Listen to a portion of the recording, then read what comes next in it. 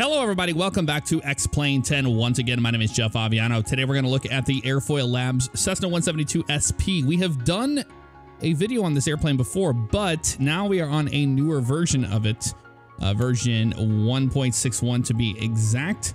And a lot of things have changed. Uh, you have this quick start, you know, where you can just start it up and get going. Uh, here's your camera options. Some things haven't changed as far as this goes. It's the same stuff. However, you can turn off the smart camera. We're going to leave it on today. It's on compatibility mode. We could turn GFX advanced on if we wanted to.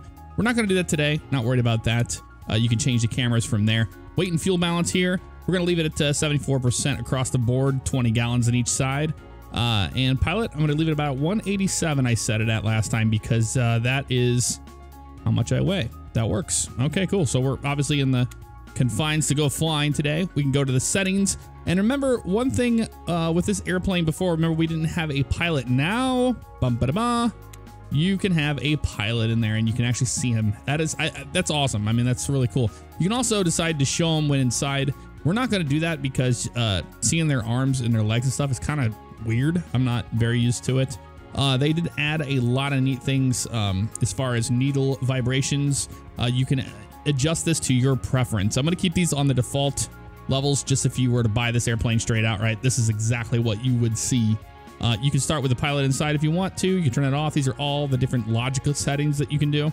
Uh, transponder values are going to be at 1200 by default for me because we're flying VFR today. It works out great. Controllers. I'm going to leave this on default. I'm using the Yoko yoke, so um, you can do Saitek yoke recommended setting, eh, which is really neat that they have this thing all preset because a lot of the problems we had before with this airplane was getting those settings just right. And they finally gave us a bunch of functionality here. So I'm gonna leave everything at default. So my feedback to you will be the same thing as if you were to buy it yourself. Maintenance, we can open it up.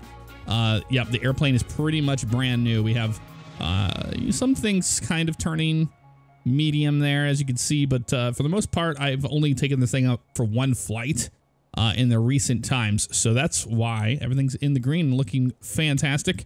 Checklist, they did update checklist. The checklists look a lot better, a lot more clean. Uh, we have contents here we can go through. You go to the pre-flight menu, and then you have this goal thing, you know, just like the old, same thing you would have if you were to climb up in the real airplane, uh, and you had that right there um, in your lap to go through. So we have pre-flight, all that good stuff. We'll just get right to the part of pre, before starting engine, we'll have that ready to go for us once we get into the airplane. But here it is from the outside. You see there's the ailerons moving. Fantastic stuff. We're going to head up into the airplane and uh, get situated. All right, you can hear the outside uh, sounds right now, but if we close the door, it will go bye-bye. Just like that. Fantastic. All right, so we're in the 172 SP. It's a beautiful, beautiful airplane. Uh, pretty excited to go flying in it. Let's go ahead and turn our master battery on. We hear those gyros coming to life there. All right, that works for me. We have a beacon light on. Yep, that's all good. I'm just going to start this how I normally would a real airplane. Um, I'm not using my Saitek throttle quadrant, so I'm using an X55 just for throttle, which is nice because it's nice and heavy. However, I don't have control manually outside of the sim um, for the mixture control. So I'm not really worried about that. We're going to crack the throttle quarter. There we go. We're going to turn this fuel pump on right here. Push this in. Watch our fuel flow spike right there. Beautiful. Bring it back out. Fuel pump off. And we can go ahead and start this baby up. Go to the start. The engine needs a little more prime. Needs more prime? Really? Okay. As you can see, they added this stuff in here now. Um, I usually just wait. Seems ideally primed. You don't say ideally primed. That's fine.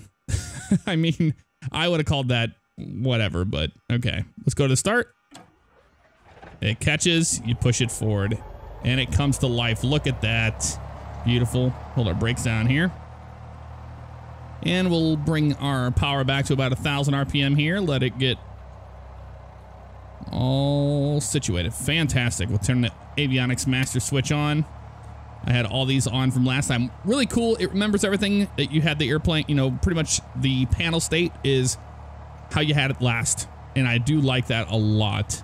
I do, I do. We're going to get the weather and all that good stuff, and then uh, we'll wait for this all to turn on, and we should be good to go. Now, we should be set here on the GPS for Kilo Sierra Echo Tango. We should, we should. And we are. There we go. Beautiful. Because we are at Kilo Sierra Echo Tango in St. Charles County Smartt, which is right here outside of St. Louis. We're just to the north of St. Louis. Um, and what we got here? All that's all preset. Yep, that looks good. Flaps are up. We can use our checklist here. Let's do the after start because we're not using checklist too crazy today. We are in a Cessna, so it's not a big deal. Uh, it's all about flows. But if you're in the real airplane, yes, I would use always, always use checklists. After starts, flaps, they're checked and retracted. Avionics master switch is on. Radios are on. ATIS, we're gonna we'll get all that information here in a minute. Altimeter and all that. Heading indicator, transponder, nav lights. Well, we don't worry about that. Ooh, that's delayed. Usually that beep right there comes on like right after you start the engine or right after you start the uh, avionics. So I don't know what that's all about. Let's uh, get our weather and uh, we'll be good to go here. I'm going to go ahead and pull the parking brake and grab weather. The spark plugs may start fouling. The start plugs may start fouling. You see, this is like uh, something, you know, in all of the time. I'm going to pull it back a little bit. Maybe it'll help.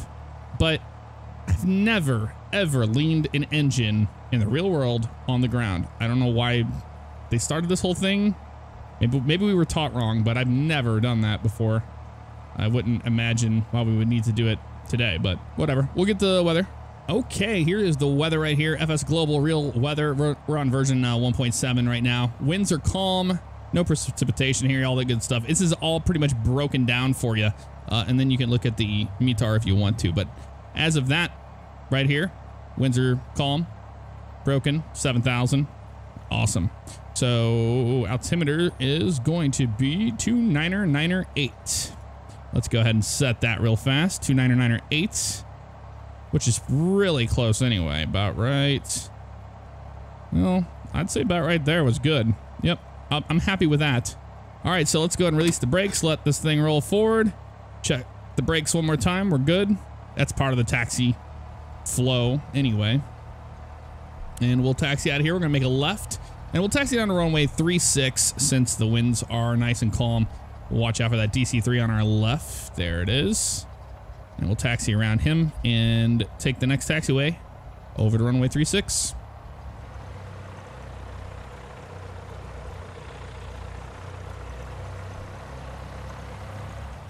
All right, it's got a very nice feel on the ground. I remember last time uh, I did fly this airplane, I had issues with just the way that it felt on the ground, and this seems to be a little bit better. It's not as twitchy. Oh, we're getting a little bit of a stutter there. I don't know what that's about.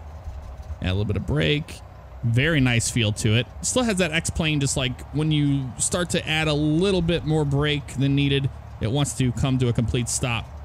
However, taxiing with just rudder is really nice. That is pretty nice indeed. So we'll taxi to the end of this taxiway, and we're going to do our run up down there so we don't have to worry about um, spinning into the wind because the winds are calm. So it works out for us.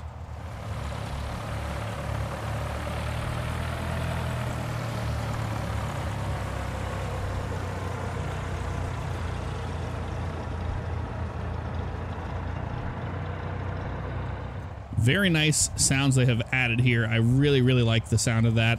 Reminds me of being in the real airplane, actually. All right, we're going to come to a stop right here. I'm going to just ease into the brakes. Ooh, man, they did work on those a lot. Uh, although it does that X-plane just insta-stop right there. You just saw it. All right, so we're at a 1,000. We're going to go ahead and pull the parking brake. And we'll rally this baby up to 1,800 RPM with the needle movement. That is so cool. I got about 1800 right there. Fantastic. And we're going to check the magnetos first, so we'll do the right one first. There's a 50 drop, back to both. Do the left one. There's a 50 drop, back to both. We'll check all of our stuff here. We've got fuel quantity, we've got oil pressure, we've got temp looking decent there. I'm going to push this in. I don't really like that EGT looks like it's spiking from that. Uh, VAC is in the green. Amps are good. Fuel flow is in the green. Everything looks really good. We'll double check our uh, trim here and bring it forward just a tad. Fantastic. Let's bring it back to a thousand. Release our brakes and let's do a landing light and a strobe light. That'll work. We'll turn our yoke back on and move our head back to the position it needs to be at. I'm going to lean back a little further because with the Yoko, I have uh, a, you know, yoke a lot further back than the Saitek, so that's what's happening there. Great job on the scenery there, Jeff. I made the scenery here, so that's why I can tell myself I'm an idiot for putting that there. Although that could have been default and I just never removed it. I don't remember. Line up on runway 36. Very nice. And we're going to add the power, pretty much firewall it, and get on out of here. And the airplane's nose should lunge to the left. Let's see if it does. As I add that power, there it goes to the left a little bit. I'll counter it with the right rudder. Full power. There we go. That's set. Ooh, I like that sound right there. It changed completely. Wow, the ground physics are really good. There's the speed coming up, 55 knots, rotate. Oh, man, they've done a number on that. That's a lot better than last time. That nose up on the horizon here, looking good. Hand still on the throttle, just in case something goes wrong. We'll pitch for 80 knots for our best climb out of here. So I'll use a little bit, roll that uh, trim there forward a little bit more there. We'll get right up to 80. We'll climb up to 1,100 feet. We'll start our turn to the west, and then we'll probably climb up to about 2,500 feet or so and do some maneuvers. One thing I do want to try out is doing steep turns with trim. Um, I was watching, I always watch uh, a lot of different, you know, various YouTubers out there. You know, Captain Moonbeam. I watch uh, uh, Steveo1kinevo. His his channel is absolutely amazing. Um, I watch MzeroA. You know, all sorts of stuff. Mr. Aviation 101. I like all, you know, a, a pilot, a friend of mine. I have no idea what I'm saying here as I'm starting my turn here. We did not do 1100 as I wanted to, but we'll go up to 1500. That's fine. And we'll roll out here to the west. But yeah, I watch a lot of different YouTubers. And MzeroA was showing steep turns using your trim. So we're to try that today. I think it's bumping. I want to say it's like bumping it so three times or four times before you go into the steep turn. I can't remember. To the right and then one to the left. I think it's only three because of the P factor. Mm, don't remember, but we'll try it. Anyway, back to 80 knots here, bringing that nose up on that horizon. Fantastic. Little hazy day here in the St. Louis area. But everything looks good to me. We got the green, green, green.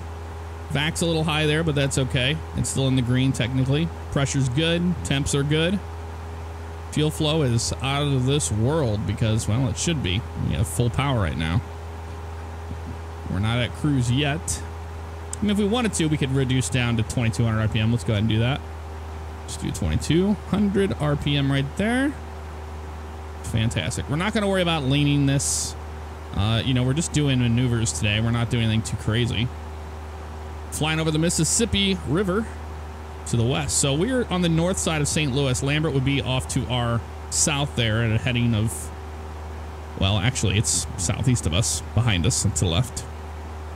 All right, getting some stutters here and there, but X-Plane's going to X-Plane. I'm using SkyMaxx Pro version 3. Point, uh, I think we're on 2 or something like that now. Uh, maybe not. 3.1A or something with a real world connector. Real weather connector. I think that's what it's called. Real world. Yeah, not even close. All right, fantastic. We're at 90 knots. Our maneuvering speed coming up on, we'll do 3,000 feet. I said 2,500, but I was talking. So that's okay. The beauty of being in a simulator, we don't have to worry about those things.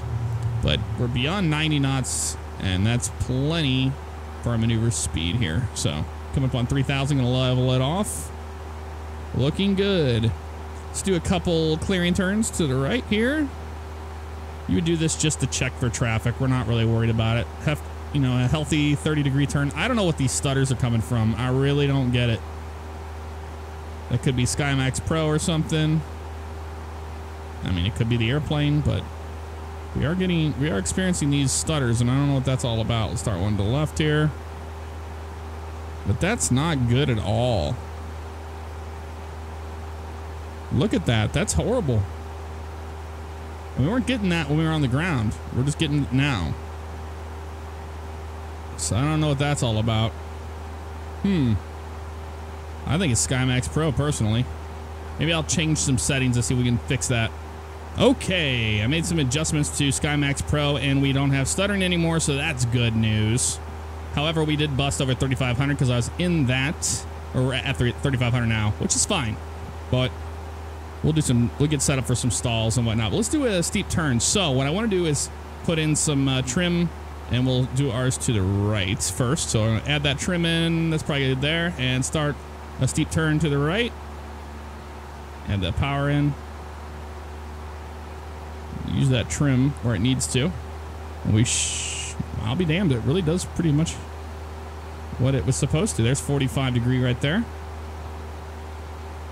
Look at that. I'm not I'm not even touching the controls. I know you can't see that, but I really am not. So it's just like Jason said. That is phenomenal.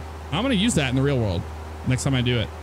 Uh, that's really, really nice. You just trim the airplane and it, look at that, turns on a dime. We can roll right off here to the west. And look at that. We didn't lose any, we didn't gain or lose any uh, altitude except for the end right there. But it is a simulation. It's difficult to do. So let's do one to the left. So I'm going to go less than what we did last time. Let's get back down to 3,500 feet. Come on down. Come on down. Back down to 3,500. Airplane, please. Wait, it doesn't want to come down today, does it? No, it doesn't. There we go. Getting close back to 3,500 feet. All right, cool. So we'll level off. And I'm going to go up a little bit this time and turn to the left. Because that, that P factor should really help us here. And I'm not, I'm just going to add that power in and watch what it does here. I am not touching the controls. Just have my hand barely on there right now. Letting the airplane do its thing. Look at that, right at 3,500. Feels like it really wants to tip over the left more though. So I'm going to add a little bit of right turn. There we go. And you can see it right there on the uh, yoke what I'm doing there. So yeah, steep turn guys, that really helps with your steep turns. Adding that little bit of your um, trim. Trimming with it. It's really cool stuff. All right, we'll level off right here on the west. As you can see the roads right there, I'm going to push forward as well so I don't gain too much altitude this time. Fantastic stuff. Let's pull the power back here. Completely at 1500 RPM. We're at 3,500 feet. I am going to let the airplane do its thing of slowing down. We're going to get in the white, white arc and we're going to add flaps in so we can do a power off stall. There we go. We're in the green, so we're going to go 10 degree flap there. 20, 30. Let's just dump them all in. There we go. Wants to pitch up on us. There's 60. We're going to bring that nose forward. There we go. Let this thing come down to about 60 or so. Once we get 60, we're going to pull the power completely and we will flare like we want to stall. All right, come on. Come on down. I think doesn't want to increase airspeed with these flaps out, I tell you. There we go. Pull the power 100% back. And here we go. Reach for the stars. Let it slowly go into a stall here. There's the buffet of the wing. And we are stalling. Look at that. that is so good.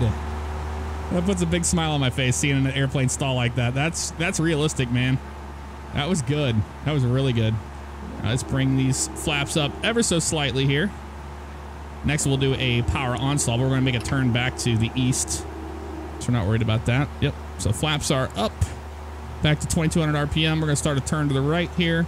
Let's climb back up to 3,000 feet. Wow, that was incredible. Absolutely incredible. There's the Mississippi River there as we turn back to the east. Back up on 3,000 feet here. And east is going to be right here on the money. All right, back up to 3,000 feet, and we're going to do a power on stall. These are where you can almost spin the airplane. We're not going to. The attempt here is to not spin the airplane. But we're going to uh, see what it's all about. So we're going to do it pretty much like you would a power off stall, and we're not going to add any flaps in. We're just going to add power to 2200 RPM. Some flight schools do full power, but we're just going to do 2200 RPM today. So let it come on back. Used my trim to my advantage here, so I'm trimming back, trimming back, trimming back to help us. There we go. All right, fantastic. When we hit that 42 knots, we're going to add that power in, and we're going to have to stomp on that ball. Let's see if it does. Here's the stall horn. Add that power.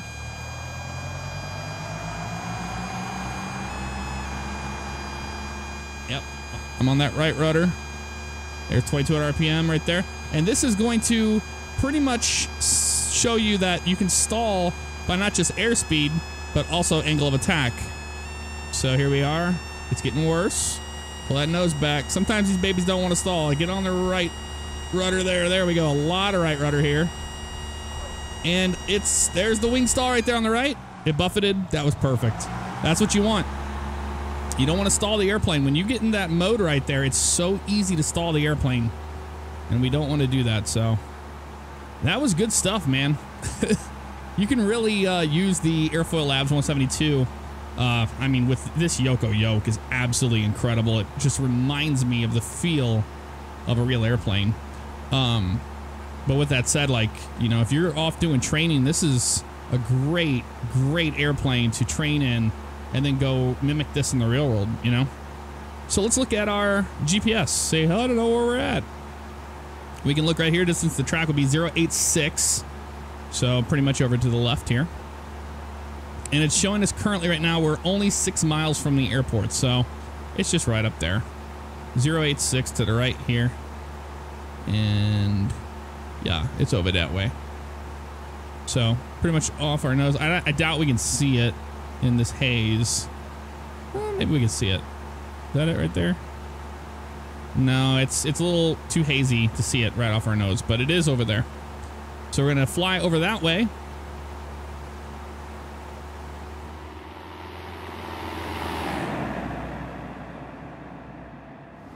Okay, we are almost at the airport, and I know we are high up in the air because I want to simulate what it's like to slip in this airplane. I haven't slipped in it yet, um, and it's always fun to do slips. So we're almost to 3,000 feet. So we're going to slip the airplane by going full right rudder and using our left wing, you know, to uh, keep us nice and straight here. But you're going to notice when we do this, we'll go right rudder full there. Oh, listen to the wind noise there. And just watching what the airplane does and keep it in a nice straight line. You'll notice we lose a lot of altitude, but we don't gain a lot of airspeed. That is the beauty of the slip. So what I plan on doing here is we're going to slip a little bit. We're going to turn right. We're going to do an extended left downwind for only 3-6. That way uh, I will have plenty of time to get back down to the ground here. So there's a nice slip to the right. So let's do a slip to the left. That is so good. All right. Let's turn while slipping. Now, Cessna tells you to never slip with your flaps down. But if I was in an emergency situation and I was like, man, I got I got to make this field, you bet your ass I'll be using some flaps while slipping. We actually did that in our check ride once with an FAA instructor. He was like, you never done that? Never slipped in a Cessna with flaps? I was like, nope. Like, well, this is what it feels like. And he showed me. It's like, well, it's good to know because I would normally wouldn't ever do that. And we were always told to never do that. So it worked out. There's 1,500 feet right there. We're to go down to 1,400 for our pattern altitude today. Here's 1,400 right there. We're going to release the slip. Fantastic. And look at that. We didn't gain any uh, speed or anything like that. We're going to go up to 1,500 RPM because we're going to be right on the money here in a few moments. I know I'm still descending. I want to be. We're just using that 1400 as a reference for our downwind here because we're almost to the threshold and we're going to go to 1500 RPM, which we're already at. And we're going to go 10 degree of flap here. So let's go 10 a flap, add that power in here. So we want to pitch for our airspeed and we're going to use that power for altitude. So it's looking good here. Let's pitch for that airspeed. We need to push that nose down. There we go. That'll work perfect. I'm going to go for that 80 knots here for our base. So let's do it now. Turn. Let that nose come down for that 80 knots, man. 20 degree flap. Actually, that was 20, wasn't it, in this airplane? This airplane only has 5, 10, 20, and 30. Ours had more than that, but that's okay. Now we can do it. That's a good base there. Get those flaps in. There's the runway on our left. Fantastic. Watch our speed here. Pitch for that speed and watch our altitude as well. Having to use a lot of forward pressure there. Let's get that airspeed back. I don't know why it's doing that. That's strange. A little bit more left here. We're going to be a little high here, but that's okay. We, we were messing with the flaps, so that really screwed us on not only airspeed, but our altitude as well. So I'll pull that power back for altitude. They're still pitching for that 70 knots. There we go. Beautiful. Let's go final setting the flap. It is set. And we're going to get right here on the glide slope. Looking good here. Pitching down, adding that power back in for that altitude. Looking good here. Fantastic. Yeah, 65 is perfect. Coming over the piano keys, we're to pull the power back completely and let this thing bleed off airspeed as we get into the round out to flare. To hold that nose up. We are down. Now let the nose come down as well. That was kind of flat landing. I needed a lot less airspeed there over the numbers and more flare. But you get the picture. It wasn't our best, but it wasn't our worst either. Let's make this left turn here. Wonderful. Add that power back in so we don't kill our engine. And we bring our flaps up and all that good stuff. Let's watch the landing.